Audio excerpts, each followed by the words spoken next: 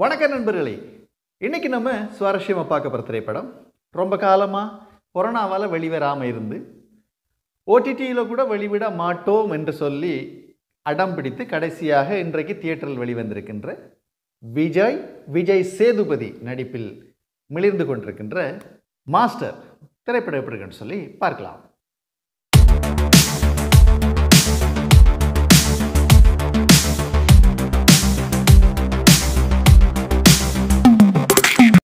படத்தோட கதையமைப்பு என்னன்னு சொல்லி பார்த்தோம்னா ஒரு பேராசிரியர் எப்போ பார்த்தாலும் தண்ணியிலே கிடக்கிற ஒரு பேராசிரியர்.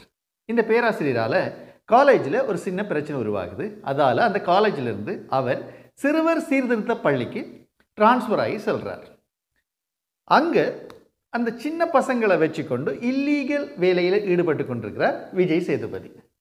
கடைசியில் என்ன நடக்கும்? ரெண்டு பேருக்கும் எப்படியும் முதல் வருமென. இந்த கதையமைப்பை தான் எவ்வளவு சலிச்சு போய் நொந்து நூலாகி அந்து அவலாகி பிஞ்சி பொங்கலாகும் வரைக்கும் ரசிகர்கள் எல்லாம் எப்பா இதெல்லாம் ஒரு படமான்னு பார்க்குற வரைக்கும் நொந்து போய் எடுத்திருக்கார் இல இயக்குனர் லோகேஷ் கனகராஜ். உண்மையாகவே இவருடைய படம் கைதி திரைப்படம் பார்த்தீங்கன்னு சொன்னால் ஒரு இரவுக்குள்ளே நடக்கிற காட்சி அமைப்பு அமைக்கப்பட்டிருக்கும். ரொம்ப அருமையாக இருக்கும்.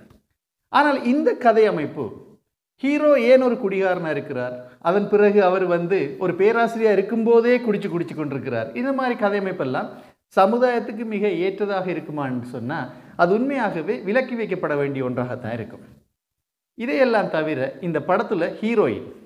எதுக்காக அந்த ஹீரோயின் உருவாக்கியிருக்காங்கன்னு சொல்லியே தெரியாது. ஆண்ட்ரியா பாக்கியராஜுடைய மகன் சாந்தனு அப்புறம் மகேந்திரன் இப்படி நிறைய பேர் நடிச்சிருக்கிறாங்க. ஆனால் அவங்க யாருமே சொல்லிக்கொள்ளும்படியான ஒவ்வொரு கதாபாத்திரங்களில் அங்கே இல்லை. படத்தில் ஆரம்பம் முதல் கடைசி வரைக்கும் மிளிர்ந்து கொண்டிருக்கிறது விஜய் சேதுபதி. ஒரு வில்லன் கேரக்டரை எடுத்து நடிச்சிருக்கிறார். ஆனால் இந்த படத்தில் சொல்லப்பட்டிருக்கிற கதை அமைப்பு உண்மையாகவே கிட்டத்தட்ட இருபது இருபத்தஞ்சி வருஷத்துக்கு முதல் வந்த கதை அமைப்போடு சேர்ந்தது. ஒரு பேராசிரியர் அல்லது ஒரு போலீஸ் அல்லது ஊரில் ஒரு பெரிய மனுஷன் இப்படி வேறொரு ஊருக்கு போவார். அங்கே ஒருவர் தப்பு பண்ணி கொண்டிருப்பார் அதை தட்டி கேட்பார். அடுத்த சீன் எப்படி இருக்கும்? என்று சொல்லி ஊகிக்கக்கூடிய ஒரு சாதாரணமான படம் தான் இந்த மாஸ்டர் திரைப்படம். அதிக கட்டணம் செலுத்தி உடனடியாக பார்க்க வேண்டிய அளவுக்கு அந்த படத்தில் எந்த சீனும் முறையாக வடிவமைக்கப்படவில்லை என்கிறது தான் உண்மை. Vaathi coming song. உண்மையாகவே பட்டி தொட்டி எல்லாம் சக்க போடு போட்ட ஒரு பாடல் இது. இந்த பாடலுக்குரிய நடன காட்சிகள் மிக அமை சிறப்பாக அமைந்திருக்கும் என்று ஆவலோடு போனால் அங்கே நமக்கு கிடைப்பது அவல்தான் அதனுடைய நடன அமைப்புகள் கூட அத்தனை சிறப்பாக அமைக்கப்படவில்லை என்கிறது தான் இதில் உள்ள வலிக்கின்ற ஒரு உண்மை. இதெல்லாம் கடந்து கிளைமேக்ஸ் சீனில் அந்த கெட்டுப்போய் போதைக்கு அடிமையாக இருக்கிற மாணவர்களிடம் போதனைகள் சொல்லி அவர்களை திருத்துவது போல் அமைக்கப்பட்டிருப்பது கூட அவ்வளவு நன்றாகவே இல்லை என்று தான் சொல்லலாம். மாஸ்டர் அமைதியாக காத்துருங்க. திருட்டு வீசியில் வரும். அதுவும் ஹெச்டி வரும் வரைக்கும் காத்துருங்க.